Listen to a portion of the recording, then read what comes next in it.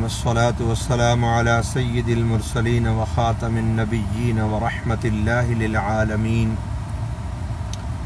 सय्यिदिना मुहम्मदिन व अला आलिहि व सहबिहि अजमईन व मन तबिअहुम बि इहसान इला यौमिद्दीन अम्मा बाद हम में से अक्सर लोग बचपन की जो तालीम और तरबियत है इस पर पूरी तवज्जो नहीं देते और हमारे जहन में ये ख्याल होता है कि हमारे बच्चे अभी बहुत छोटे हैं। अभी ये ना समझ है। अभी अगर हम इनको कुछ सिखाएँगे, कोई हिदायत की तालीम देंगे तो ये भूल जाएँगे उसको, फरामोश कर देंगे। इस ख्याल से हम बच्चों को सही अंदाज में, मुहकम अंदाज में ठोस अंदाज में उनकी तालीम और तरबियत नहीं करते। लेकिन ये सोच बिल्कुल गलत है। दानाओं ने कहा है कि जो बचपन की तालीम और तरबियत है, ये पत्थर पर लकीर होती है। ये बात ठीक है कि जब हमारे बच्चे बचपन में सीखने के बाद तालीम और तरबियत के बाद जब जवानी के अंदर कदम रखते हैं तो वो एक तूफानी दौर होता है जवानी का। और बहुत सी बातें जो हमने उनको बचपन में सिखाई होती हैं, वो जवानी के अंदर उनको फरामोश कर बैठते हैं। इसकी वजह से हमें मायूसी होती है और हम बच्चों की तालीम और तरबियत का पूरा इंतज़ाम नहीं करते, लेकिन हकीकत यह है कि यह बात ठीक है कि इब्तदाई जवानी के तूफ़ान में बहुत सी चीज़ें गुम हो जाती हैं, लेकिन जैसे जैसे वक्त गुजरता है और मैच्योरिटी आती है, आपने जो कुछ बच्चों को सिखाया होता है, वो वापस आता है।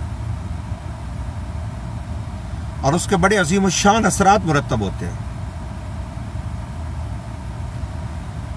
चुनाचे जब हम इस सिलसिले में कुरान पाक की आयात बैनात का मुताल करते हैं तो सूर्य यूसुफ के अंदर हमें यह चीज़ नज़र आती है कि हज़रत यूसुफ अलैहिस्सलाम अपने अजीम वालिद हज़रत याकूब अलैहिस्सलाम से तालीम हासिल कर रहे थे, तरबियत हासिल कर रहे थे। वो अपने बचपन का उनका एंड था और जवानी की इब्तदा थी। जब अपने घर बार से वो जुदा हो गए और देश देश से प्रदेश में मुंतकिल हो गए, बहुत दूर चले गए। लेकिन हमें नज़र आता है, आप भी इस चीज़ को देखेंगे कि हज़रत यूसुफ अलैहिस्सलाम जब मिस्र के अंदर पहुँचे तो वहाँ माहौल बिल्कुल डिफरेंट था। उनके घर से बिल्कुल डिफरेंट माहौल था। वो एक महल के अंदर रह रहे थे, जहाँ बेहयाई फैली हुई थी, आज़ादी थी, फहाशी थी, उरियानी थी, औरतों की हुकूमत थी। सूर्य यूसुफ को पढ़ने से पूरा इमेज हमारे सामने आता है। लेकिन आप देखते हैं कि उस आज़ादी के माहौल के अंदर भी और उस फहाशी और उरियानी के माहौल के अंदर भी जब अल्लाह के प्यारे नबी हज़रत यूसुफ अलैहिस्सलाम जो बिल्कुल अपनी जवानी के उरूज पर हैं उस वक्त, और अपने हुस्न जमाल के भी उरूज पर है, जब उनको उस माहौल की वजह से गुनाह की दावत दी जाती है तो वो क्या चीज़ है जो हज़रत यूसुफ अलैहिस्सलाम को इस दावत गुनाह से का शिकार होने से बचाती है और वो इस फितने से दूर भागते हैं और अपनी हिफाजत करते हैं और अल्लाह से डरते हैं, वो जो खौफ खुदा हमें उनके अंदर नज़र आता है इस मौके पर। जैसे कुरान मजीद की सूरह यूसुफ में अल्फाज हैं कि हज़रत यूसुफ अलैहिस्सलाम ने उस मौके पर फरमाया कि काल माद अल्लाह, मैं अल्लाह की पनाह माँगता हूँ। अल्लाह पर इतना यकीन। उस फहाशी के माहौल में, उरियानी के माहौल में, बेहयाई के माहौल में, आज़ादी के माहौल में इतना पुख्ता यकीन उस वाहदा शरीक रब्बुल आलमीन की ज़ात पर। क्या फरमा रहे हैं कि मैं अल्लाह की पनाह चाहता हूँ? मैं ऐसे गुनाहों के करीब भी नहीं जा सकता। तो ये क्या चीज़ है? ये वही बचपन की तालीम और तरबियत है। जो उनके दिल में अजमत इलाही और तोहीद, जो उनके वजूद में रासक की गई थी, इस फितने के मौका पर, इस पुरफितन मौका पर हज़रत यूसुफ अलैहिस्सलाम की हिफाजत हो गई। बचपन की तरबियत उनके काम आ गई। अपने वालिद से जो सबक सीखा था चुनाचे आपका ईमान इतना पुख्ता था और अपना का किरदार इतना अजीम हमें नज़र आता है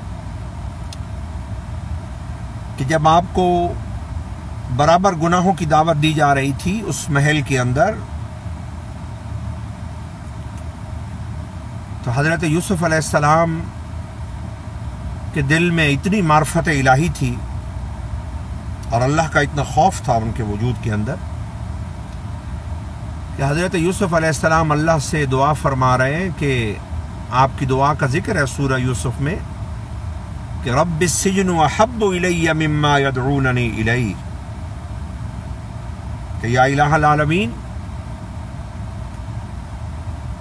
इस महल की ऐश व आराम से बेहतर है कि मेरे ईमान की हिफाजत हो और मैं जेल में चला जाऊँ। इससे जेल बेहतर है। मुझे यहाँ का ऐश व इशरत नहीं चाहिए जिससे आप नाराज़ हो जाए। ऐसी ज़िंदगी जिससे आप नाराज़ हो जाएँ और मेरा ईमान ज़ाया हो जाए और मेरा अमल ज़ाया हो जाए, मुझे ये ऐश इशरत नहीं चाहिए। इससे बेहतर है मैं जेल में चला जाऊँ। तो ये क्या चीज़ है? ये बचपन की तालीम और तरबियत है। वो ज़ाया नहीं हुई। इसी तरीके से हम देखते हैं कि हज़रत यूसुफ को जब जेल में बंद किया गया। तो वहाँ पर भी उन्होंने अपना वक्त ज़ाया नहीं किया। वो हर रोज जेल के अंदर, तबलीग और तालीम के अंदर मसरूफ रहे। हिदायत का नूर फैला रहे हैं जेल के अंदर। तो ये जो यूसुफ अलैहिस्सलाम का अजीम किरदार है, ये चीज़ें कहाँ सीखी है उन्होंने? कौन से स्कूल में, कौन से मदरसे में, कौन से कॉलेज में वो गए हैं?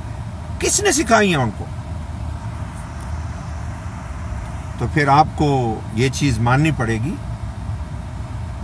कि ये चीज़ें उन्होंने किसी इदारे में नहीं सीखी। ये बचपन की तालीम और तरबियत है। जो वालद गिरामी कदर से उनको सबक मिले थे, वो पूरी ज़िंदगी में उनके साथ चल रहे हैं और उनको फ़ायदा पहुँचा रहे हैं। इसलिए हमारे लिए ज़रूरी है, हम ये ना समझें कि भाई हम बच्चों को अगर अल्लाह की अजमत सिखाएँगे कि हमारा खालिक व मालिक कौन है? कायनात का बनाने वाला कौन है? इस कायनात को डिज़ाइन करने वाला कौन है? निज़ाम को चलाने वाला कौन है? और अल्लाह की अगर हम निन्यानवे नामों के माने अपने बच्चों को याद कराते हैं कि वो बड़ा मेहरबान है, वो बेहद तौबा कबूल करने वाला है, वो बेहद सखी है, वो सारी चीज़ें अगर हम बच्चों को सिखाते हैं फिर हुजूर नबी करीम सल्लल्लाहु अलैहि वसल्लम की अज़मत, आपकी शान, आपका मकाम, आपका मनसब नबूत आपके अखलाक, अगर वो हम अपने बच्चों को सिखाते तो ऐसा मत सोचिए कि ये ज़ाया हो जाएँगे। ये ज़ाया नहीं होंगे। हो सकता है जवानी की इब्तदा के अंदर थोड़ा बच्चा इधर उधर भागेगा, एक तूफ़ान उसके अंदर आएगा, लेकिन मायूस ना हो। आपने जो नक्श बनाया है उसके दिल पर वो नक्श वापस आएगा। आपका अजर जाया नहीं होगा। तो ऐसे मत सोचिए। अपने बच्चों को बेहतरीन तालीम दीजिए। रोज़ाना शाम को बैठकर बच्चों को इससे एक घंटा गुफ्तगु कीजिए। कुरान मजीद का तर्जमा। नबी पाक सल्लल्लाहु अलैहि वसल्लम की प्यारी हदीसें, बुज़ुर्गों के वाक़ात हुजूर की सीरत। अल्लाह ताला हमें हिदायत की बातों को समझने की तोफ़ी कता वाखिर दावाना अलहमदिल्ला रबालम